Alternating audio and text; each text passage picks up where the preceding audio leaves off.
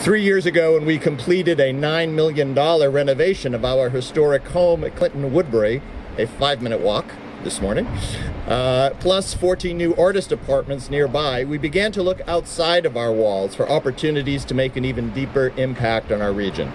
We are proud to play our part in the dynamic redevelopment of downtown Rochester during Mayor Warren's tenure. However, as wonderful as our two stage performance facility is in the former New York State Arsenal building, there isn't available space for those eh, within those formidable walls for doing the kind of year-round classes and community events that can now take place here on Site 7. Monroe and Howell will be, a, will be a participation facility, not a performance venue.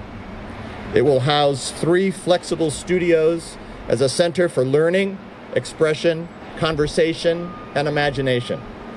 As far as we know, no other arts organization in our region has a standalone facility dedicated to these programs.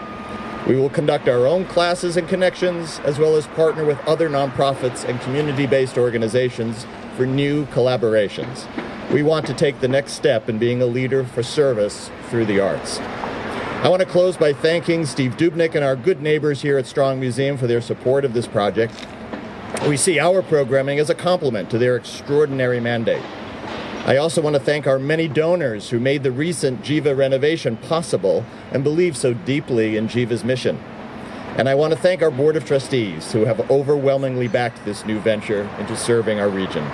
It is an exciting time to be part of Geva Theater Center and of Rochester. Together we are forging a 21st century city defined by its people, its passions, and its pride. Thank you very much.